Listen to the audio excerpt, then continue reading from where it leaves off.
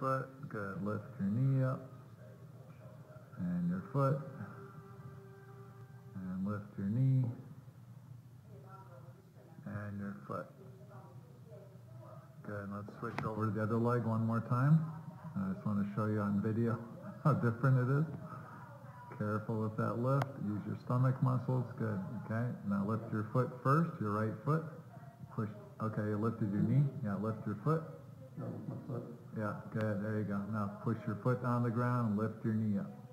There you go. It's already getting better. Good. Now lift your foot and lift your knee. Good. And foot and knee. Good. And bring your left side back up again. The left side? Yeah, right side down, left side up. Left hip.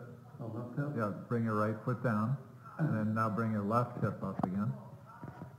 Now this time put your left hand behind your head, and rotate up your left shoulder blade, and that's it, good, that's it. Keep your head mostly on your, on your uh, forearm.